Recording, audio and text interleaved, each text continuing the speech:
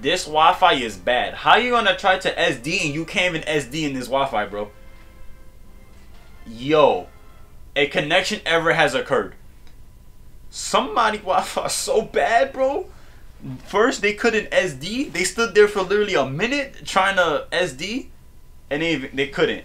Tasca, that was you. Tasca, your booty Wi-Fi, that was you. We found the culprit. It was Tasco.